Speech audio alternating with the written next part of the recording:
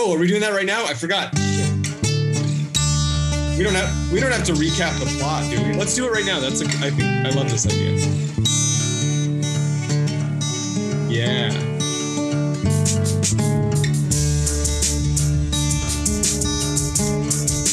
This is Auteur Detour, wherein three film lovers travel through the filmographies of cinema's most important directors in hopes of finding a greater understanding on the other side.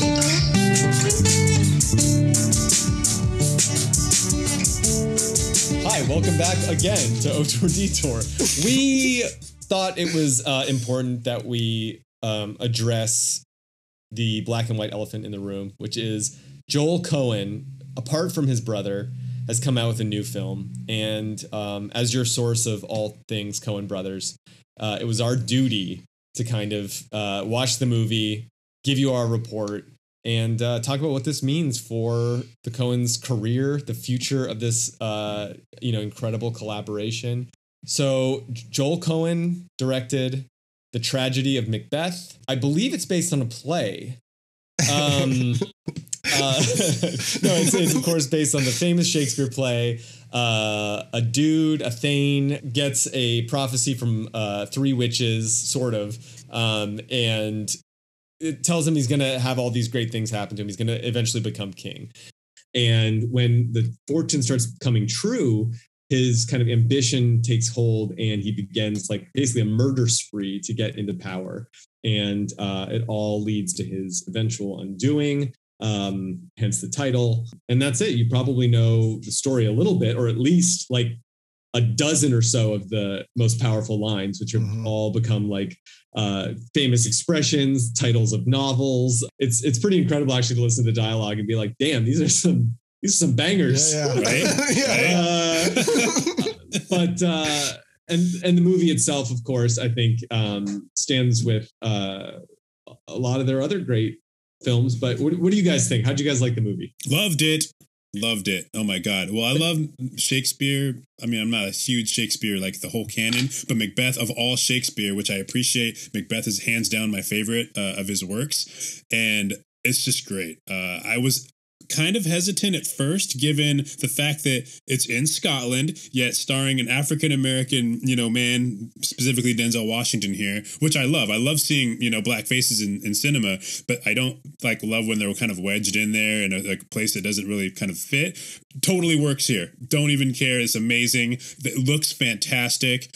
Um, I love the black and white. I love the kind of um, uh, soundstage look to it, which totally Mhm. differs from the actual on-set location of the most recent Macbeth version, the uh, Justin Kurzel directed version with uh, Michael Right. Fassbender and Marion Cotillard. Uh, Did you see that version, Chris? Oh yeah, so many times, so many times. really? I love that version. I mean, it may or may not be people's favorite. Again, Shakespearean language. Watch it. It's awesome. It's way better than Assassin's Creed with the the same two Macbeth. people in it. no, it's great, and that's kind of what I was uh, holding it up against almost because I really, really loved that version when I saw it. So I'm like, okay, let's give this one a shot, and it's so different, and it's it's excellent. It works really well. There's a few little things I, I didn't care for too much about it, but I, I was blown away by how just beautiful it looked, how well it worked, and there's the power of certain scenes and the visual imagery that was done that set it apart from most other versions of Macbeth that I've seen. Uh, really work for me, so I really enjoyed this film. I don't know about you guys. Oh, good. Awesome. Awesome. I mean, not as much as you, but I did love it also. Like I, I feel like visually it was incredible. You know, the acting was incredible. Like I, and it's Macbeth, and that's incredible. Like you know, I'm not gonna like uh, say anything against it in any of those ways. I think for me, at a certain point, I had to sit back and you know, this is my fucking podcast brain going for sure. I probably wouldn't have had this if thought if we weren't making the podcast, but I started just kind of being like, what are we doing? Like, what, what, what was he doing making this movie? Like, why? And I don't know, like, it didn't feel like, Really? I just meant What are we doing here, Joel? What are we Come on, what am I doing with my life? Making like, movies. what I mean is that, like, besides how beautiful it was and how well acted it was, like, it just felt like, I mean, I don't know, it felt weird to watch him just film a stage play. Like, I don't know, that's kind of So it's interesting it to hear you say this just because, like, I mean, it was so different than any other film he's ever made. So Yeah. different. And like, he, I- you know, I don't, I didn't have time to, well, actually, I just forgot that we were doing this, but, um, uh, I did, I didn't look into like what the budget was for this movie, but, it, but, um, my understanding of what, how this kind of came to be was that Frances McDormand was in a play of Macbeth and she played Lady Macbeth and she asked Joel if he wanted to direct the play. And he's like, I'm not interested in plays. But he went and saw the show, of course, and then and he and he was kind of so fascinated by this kind of pared down style of the play that he's like, oh shit, you know, this gives me an idea of how I could make this kind of cinematically. That's really interesting. and then and oh and then oh go ahead, you go ahead. Oh, Chris. I was just gonna say yeah. because that's what it felt like to me. Was like, what if Joel Coen had directed a play? Like that's what it felt like to me. Like even though there was plenty of stuff in this that you couldn't necessarily do as well on stage. No, no, no. Yeah. But, it was to me, um, it felt like it didn't feel like a play or a movie. It felt like TV. It felt like Hmm. this could have been like this is like it reminded me of like when they used to do uh like in the 50s, um, when they would do like these incredible like uh hour long dramas and stuff on television and they would be filmed by like you know John Frankenheimer and stuff like that. Mm. A lot of like the amazing uh 60s kind of like most radical visually uh 60s directors came out of 50s television and uh like Requiem for a Heavyweight and uh and stuff like that. And um that's what it felt like because it felt like low budget. It felt Mhm. like uh like really beautiful and beautifully filmed but not but um not really cinematic you know? And the fact that it was made like to stream you know? I was like I'm I, I'm watching a TV show right now, and there was one transition where like a mist blew by, and then it switched from one scene to the next, and I was like, that was literally like a '90s PBS transition. You know what I mean? Like Mhm. this feels like British TV, and uh, and I loved it. I I thought it was like this is rad, but like this is not a film. You know, it really felt like Yeah, like similar to when I watched like uh, The Irishman. I was like, this is not a movie, or this is like this is like a weird like hybrid mutant child splice child of like That's the right. new digital era and uh, and this seemed like but I, I felt like only positive about it Mhm. I only felt positive about it too. I didn't even mean when I say not as much. I just meant like I was like se- separated from it at a certain point while watching it. Like I wasn't completely drawn in and engrossed the whole time. I kind of actually wished it was like I was like it- it- keeping on the TV theme. I was like, I wish that I there was like this played over two nights with two hour long uh, episodes. You know what I mean? I was like, I could have been because that's so does- much language to take, and it's such a it's so pared down. Mhm. It's so just like watching actors in front of like a blank wall, and there's so much Mhm. language to like kind of process as you're going. I was like, I could have totally. I think I might have consumed it more easily, spread out over a couple days, than just like watching it as a movie. Um, yeah, yeah. yeah. I, Yeah. wonder. I mean, I also think I would have consumed it better if it was in the big screen, even though it wasn't cinematic, but just Mm. you know, it was. It did feel like a show, like you said, like a, It was also you in four three, which is what part of Yeah. what uh, you know made that. And so, like, just feeling. the act of like streaming it on my TV during the daytime, like, I just that probably didn't help me to get engrossed in it as much. I was going to say the format, the fact that we're not in the theater really watching it may have Mhm. actually contributed to that experience. You know what I mean? The Totally, streaming totally. Yeah. nature. I actually was really impressed though with because if you read Macbeth, it's largely uh, monologue. There's a lot of just monologue, mono- and that can be really, really damaging to a movie, right? If you're just sitting there Mhm. watching someone just talk, right? Uh, and that's why I think the Kurzel version worked so well for me. And I was kind of like, I hope he does something like well with this one, which I didn't have any doubt. It's Joel, but it's it's Mhm. smooth. He he picks and chooses the lines correctly, such that it's never droning. Uh, the way they're delivered is really naturalistic. It's not this like bombastic sort of like Kenneth Branagh bravado kind of Right, like portrayal. Like you know, even though you have this guy with a kind of New York accent playing a Scottish king, it works. You know, Yeah. because he the lines are crisp. It's nice and narrowed down. Denzel Washington is so fucking good. like he's the best movie star. I don't know. Like he's just It's got great. he's fucking Macbeth is like a perfect Coen Brothers movie in a way, Mhm. and it's also a perfect, but it's also a perfect Denzel part, right? Like, I mean, I was like making parallels between like this and like Man on Fire and Ah, like yeah. you know American Gangster and like you know what I mean. Like it really, uh but I like how he plays it like less powerfully than like so many of his other performances. you know what I Right, mean? Like he's just more like a dude who's just like I could be king. Yeah. Like, you know what I mean? Right. Uh, but yeah, it's a it's such a good choice to just like focus on like the faces of Frances McDormand and Denzel Washington and and I mean so many good performances in this movie. Brendan Gleeson. Incredible. Oh my god, Uh, the witch I lady, loved him amazing. So The witch- the witch lady. She's She's incredible. so She's haunted good. my dreams The for like the night or two before that. She starts off all contorted and like, what is this? was that Yeah. really her What? contorting? Or yeah, was I that a think digital so. trick? I think so. That was incredible. And That the- was incredible. Well, I love the uh, the treatment because you see a lot of different portrayals of the witch, which is one of the most like compelling characters, you know, in cinema. Yeah. Uh, the Kurosawa version, Throne of Blood, it's just one. It's one person. Yeah. you know, and that's really an interesting Yeah. choice. Uh, and you know, the other one, there's three different ages of la- ladies, like a little girl. There's a middle, like medium aged lady, and I've seen like a really old one. You know, the three sisters. But this one's really Mhm. cool. It's like the same person, just like a mirror. And there's that Yeah, shot in the beginning of yeah. one person in, uh, standing in front of a pool with two people Mhm. split, you know, mirroring that that image. I Uh, fucking loved that. That really a- cool. it- and then of course that, it- that shot where uh, she's hanging from the rafters basically, and the, the, the cauldron is the floor. That's a great Mhm. touch. I, he's kind of Yeah. got his feet in the water. Like that's the cauldron. That's a really brilliant. uh, Coughed up the baby. oh my god! Or I mean, that toe or whatever. actress, like, who's an English stage actress and has been in, you know, Harry Potter, speaking of Alfonso Cuarón, and like other things, you know, just like English movies, like bit parts mostly. Like, she must have been like, holy shit, this is the part I was born to play, and I get to play it in a fucking Coen Brothers version of like Macbeth. Mhm. Like, how, what a fucking treat for her. And she killed it. Like, I don't know. I really feel like um again there were a lot of interesting artistic choices.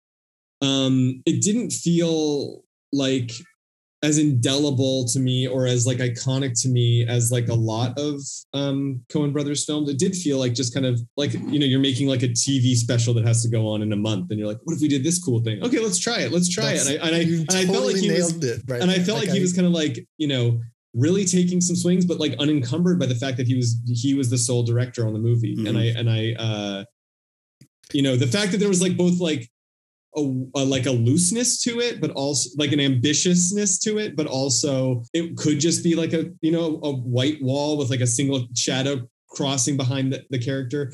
Like because he was just doing it by himself and it wasn't the two of them kind of going like and then this and then this you know what i mean? Like i felt like there was a both an ambition to it and uh what am i trying to say? Like a modestness to it that was like um it felt i don't know like it, it felt like the work of somebody like a really confident artist who was just kind of like on his own for the first time just Mhm. like throwing stuff out there Man, I i don't know so it was, it was interesting to me as a, a singular coen movie rather than like a coen brothers I was watching it trying to figure out what was missing without having Ethan there, you know, and it was hard to it's, Nature? You know, well, the like, language a lot of the yeah. time, you know, with the Coen brothers, it's like Ethan typically does the writing, right? So, I mean, when you have Mm. that writing that's supplemented with something that's literally word for word, something that's already been, you know, I think that they have kind of it's been said about them by all the people that work on their movies that they kind of do everything together though like even though ethan gets the white writing credit and joel gets the directing credit a lot it's pretty much a 50-50 split on all of it like that's what i've heard at right? least from the actors but um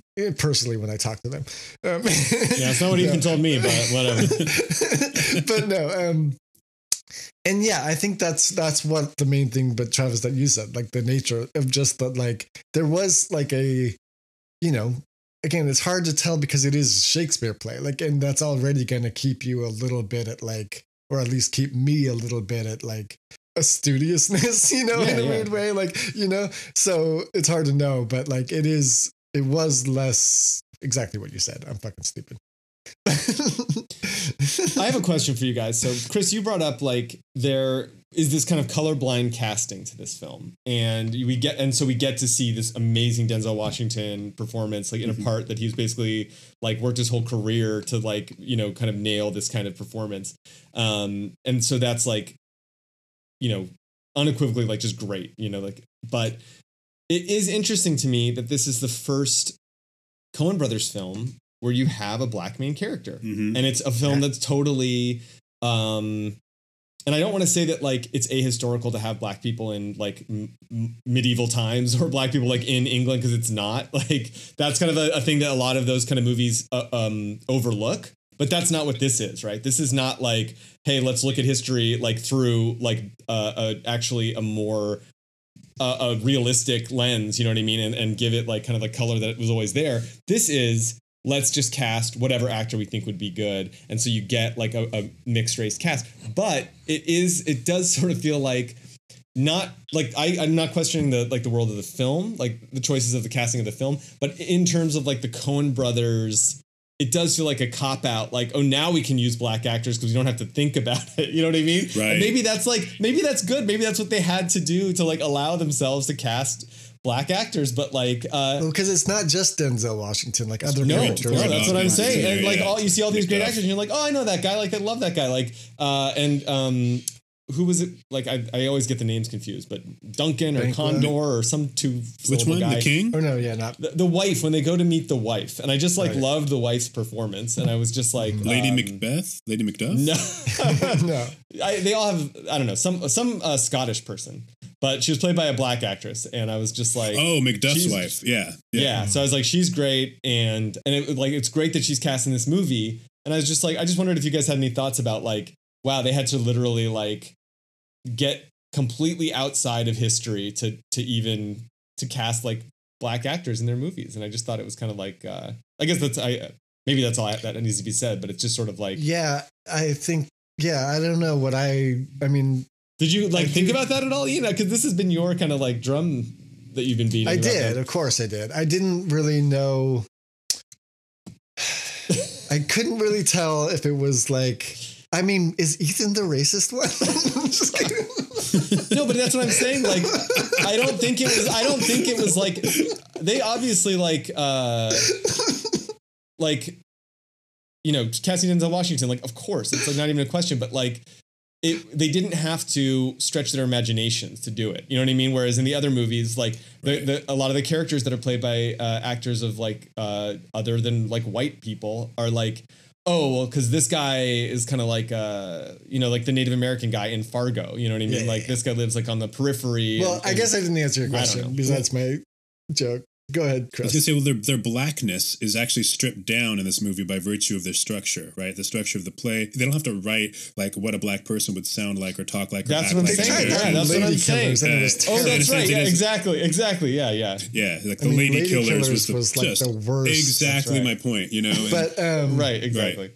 But I, I just Okay. felt like, I mean, first of all, because I was going to say, I didn't answer your question, but like, I did love that. Like, I loved to watch them and just movies in general, like, acknowledge the fact that black people exist. You know what I mean? Like, it, it was, it was nice. Like, All and I was, I'll I was on board. As far as like trying to parse out how much of it was them doing it consciously because they've gotten criticized for it so much, like, that was my questioning. Obviously, not with Denzel, but with you know, the other characters was like they have come under a lot of fire. They've said some stupid shit trying to be like, obviously, this is just Joel here, but together they've said some stupid shit being like, you know, why should I care about that? Basically, like when, uh, when Hail Caesar came out and it had a cast of 75 and there was zero black people in it, and people were like, you aren't allowed to do this anymore. Like, stop doing it. And they came out after that in this interview and were like, uh, well, no, like I don't care about that. Like I'm just making movies. Why would I care about the black experience in 1940s Hollywood when that's not the movie I'm making? Um, and you know, we've debated whether there's any validity to that at all. But whether there is or not, I had to wonder watching this if they're like, okay, we have to do this now, or if they're Right. just like made aware of it, like you said, like if they're just like, I don't know. Or maybe Yeah, they're was- actually like, now we can actually finally do this, you know, without like and do it right. I mean, I, I can it see well, yeah, as being a film writer without trying to stretch yourself too crazy to, you know, I'm just going to stay in my lane, write for who I know I can write for, and then keep it that way, and hopefully leave the other roles to other directors and whatnot that are better at this than I am. Uh, maybe Right. they're like, finally, now we get to do this. I, I want to believe that was the case with this movie. I want to. Totally. I don't know. Uh, either way, I'm glad it happened. Uh, I love this movie. Thought it was great. Um, I don't know when I'm going to see it again. This is one of those movies. You know, Shakespeare uh, is not always uh, like the. Let's just throw this one on again tonight. That was amazing. But um, I'm glad they made it. I'm glad Joel made it. I'm really intrigued to see what happens next, though. Right? Like, do Yeah. are they going to be uh, like a Wachowski deal? Like both Lana and Lily are now like you know doing different things, I guess, or the the Coens now like doing separate stuff, or was this just a sort of temporary hiatus from one another before they come I back like. Voltron it again felt, and crush but it? like you said, it felt like it was not like a full movie, even though I know it was. Like, but it didn't feel like, you know, like a he was stepping aside from Ethan to make his like magnum opus. It felt like it was more just like, oh well, what if I film like my wife's play?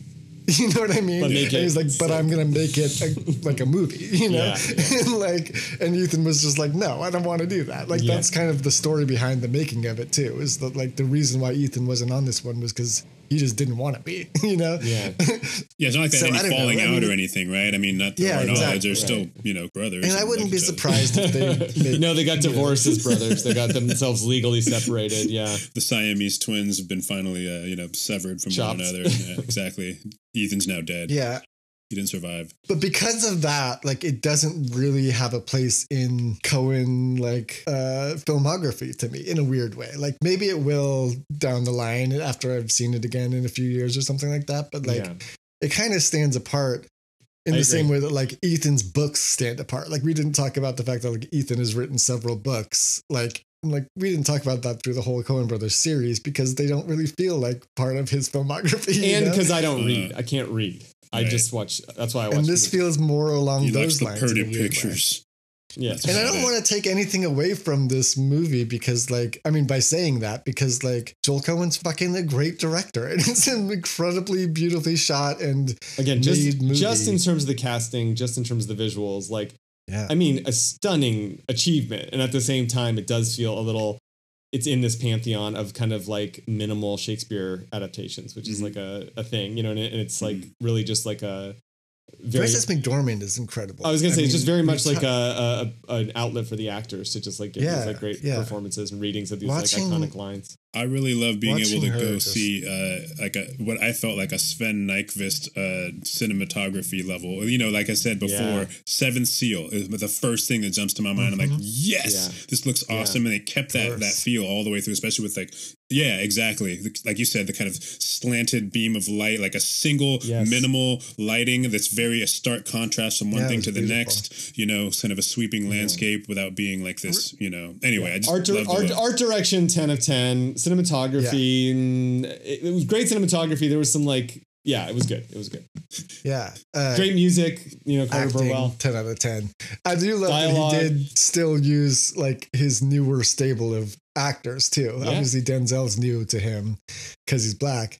But um but he uh, but you know, besides Frances McDormand, obviously, who's in so many of his movies, but like Stephen Root's back. oh and my Henry- god when brought Harry Stephen Melling Root back. Shakespearean Stephen Root yeah. So what And a, Harry tre- Melling what a is gift fucking great in this too. Harry Like, Melling has arms and this- legs in this movie. Awesome. I know I was like But yeah, Stephen Root, lot Stephen Root just scene stealing, you know, fucking great performance as always. He's so hammy and he like So lives in that fucking world. I was so gonna say he fits perfectly, like somehow he's both like the most accessible and seems like the most uh, in the world of Shakespeare simultaneously. Like really incredible performance Mm-hmm. you for like Denzel one minute of screen time, two minutes of screen time. Denzel Incredible. was in which Shakespeare play was he one was of in the Much Ado Kenneth Branagh comedies. Yeah, yeah.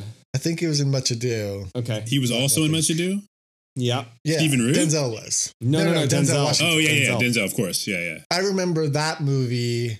God, I always get that one and Midsummer Night's Dream confused in those that era of What? movies that came How out. How dare you? But um, because which one had? That's the one that also had Michael Keaton, right?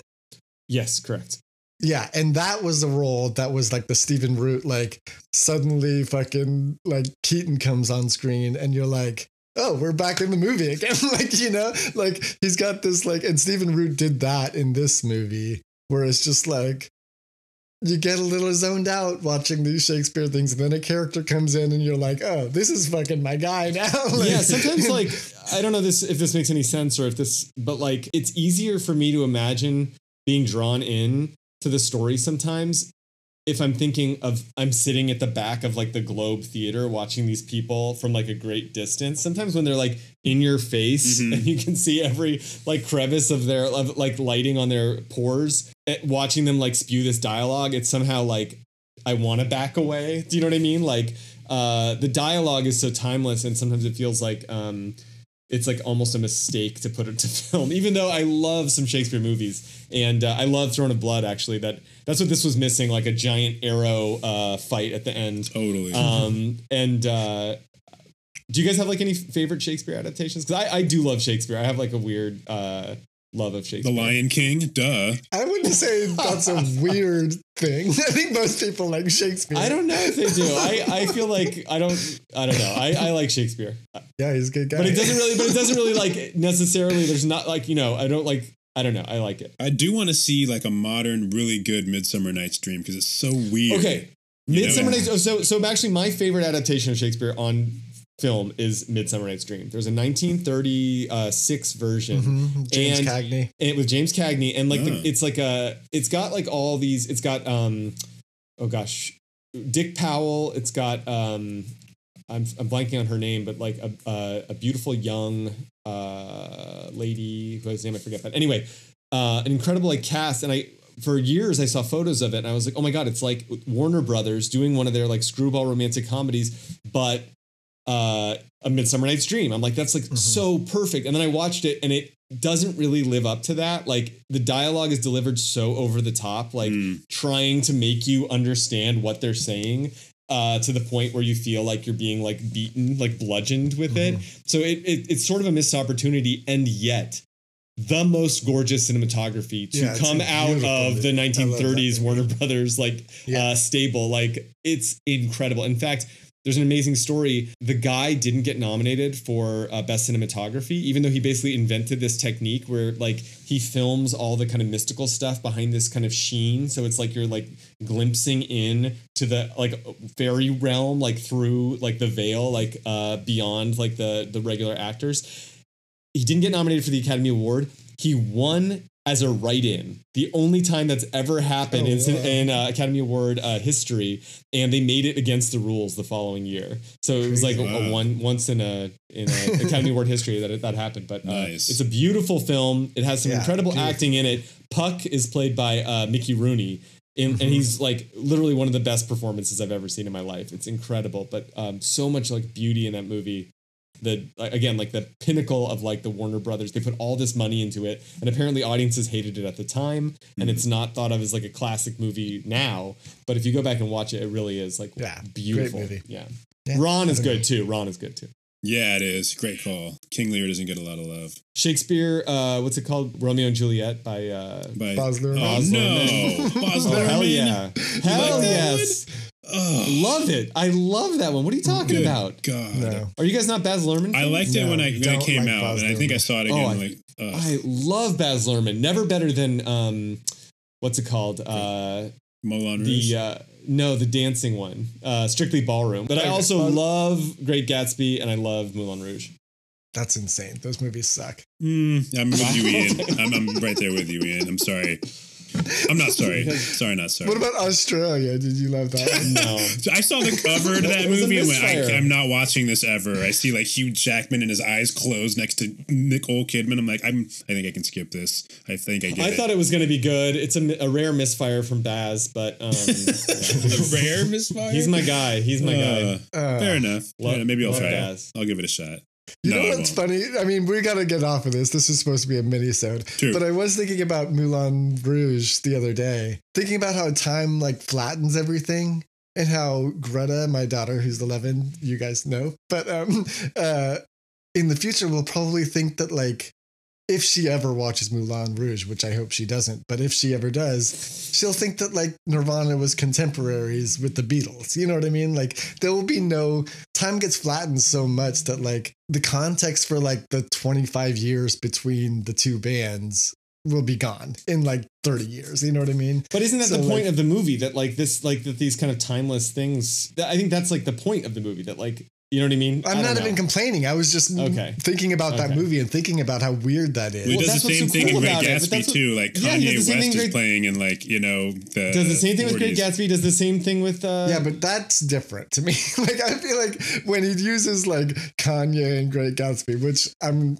also I should tell you, uh, did not finish that movie. I was so fucking done with that movie. so good. But um no, when he uses that, that feels like it's like I'm a director that's like showing, you know, my style. Like that's style over substance and like the ultimate, like what we talked about with Coen's a lot, you know. But like in, in the think that, best like- way. In the best way. Again, like he, I don't know. To me, like so- yeah.